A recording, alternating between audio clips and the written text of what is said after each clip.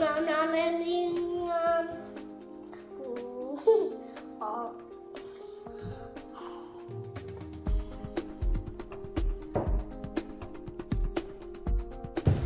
Mama, can we just squish? I think we'll. You sit in your seat and I'll sit in mine. And then we'll be very cozy.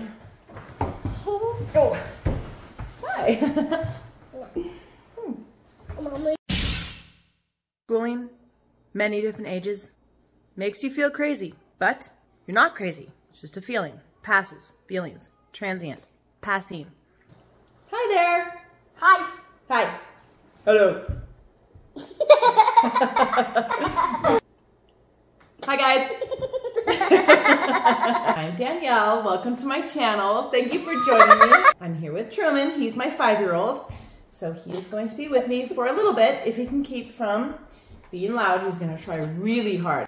I got a chatty one right here. Super chatty. All right, So just a little backstory. Those of you who've been following me, I've been doing some homeschool stuff just to kind of let you know how I do it. It's really, really not sophisticated. I have seven children. I'm actively schooling four. So he is one that is going to be starting school this year. When we do basket time in the morning, it is a time of learning that we do all together. All seven of my children. And sometimes it is total crazy town. So he does participate in that kind of active and fluid learning that we do with our basket time, which is Bible and recitation, and it's our read aloud. What is in the bag? School. That's right. So the first thing we just started, dun dun dun, is 100 easy lessons.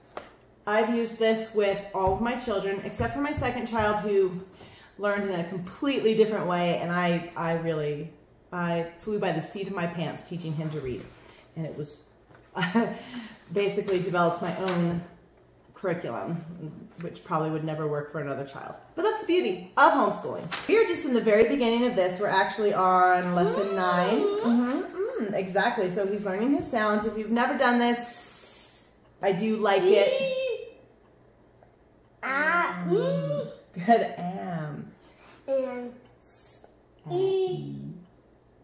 Very good. So then at the end of this very short lesson, there is a tiny portion for writing a letter. So then we go to the school bag. And I have his little writing tablet. This is essentially all that's in his school bag. Like I said, it's not sophisticated and it's not a lot. So he takes out his pencil and today he just wrote the t sound, which is what he's what he learned today, and then we are practicing writing his name. That's it. All right, very good. Um,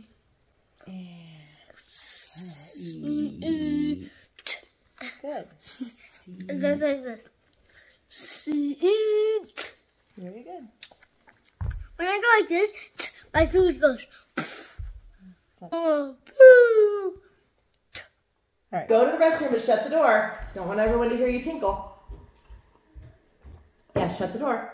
What does that mean? P. Shut the door. Still, the door's not shut. Tinkling. The other thing I do with my five-year-old, the only other thing I do, is the 100 board or the 100 chart.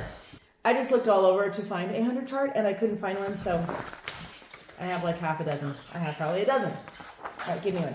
So I'm gonna blow your mind right now.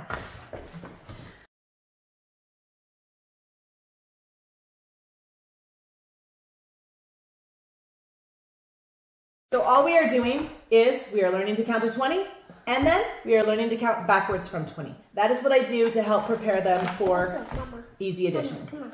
Okay. One, two, three, four, five, six, seven, eight, nine, ten, eleven, twelve, thirteen, fourteen,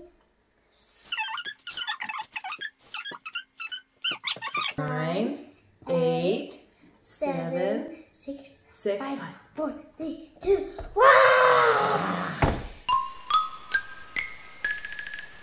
This is good for all my children. It's called Five in a Row. I really love this. I've been doing this since my daughter was little, and and I, and I don't I don't do all the curriculum. It's one book, and it has. I'm just going to turn to the chapter. One chapter is called the Rag Coat. So I have the book, The Rag Coat, and then it has a bunch of recommended studies or recommended uh, talking points. I, I typically don't do this. Oftentimes, I will keep these together, and you read the book for a week. So every day you just read the book once through. And then you can mention something like, this book was in the Appalachian Mountains. Let's go look on the map and see where that is. And that's it. That's the end of your study.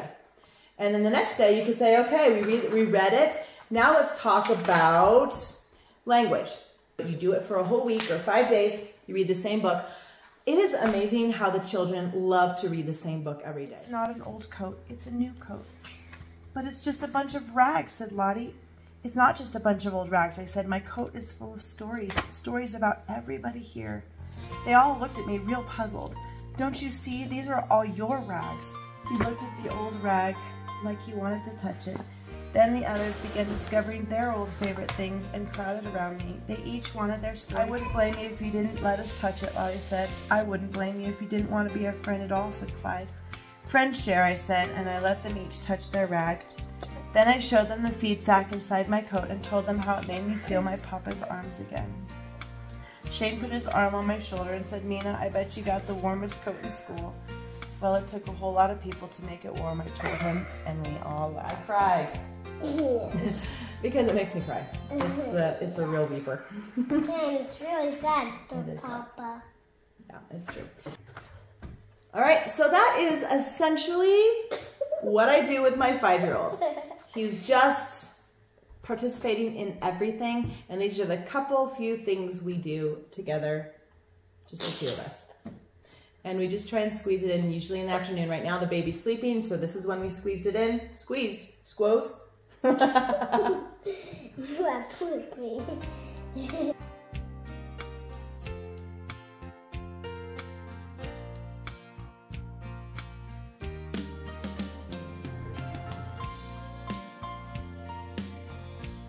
Popcorn. All right, put it down.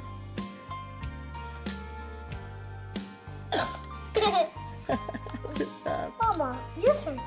No, you get another turn. You get another turn. Oh, yeah.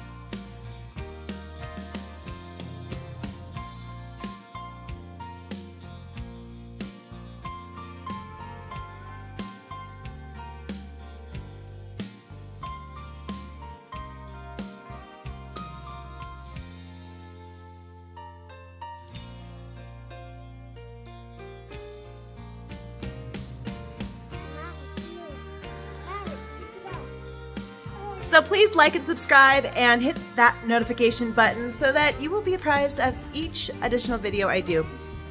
I just want to inspire and encourage you in your homeschooling journey and in your momming. No one can mom your kids like you can. I'll see you next time.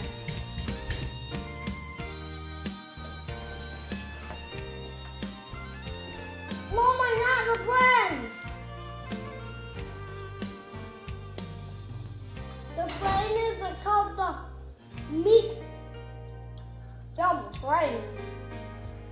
I the brain.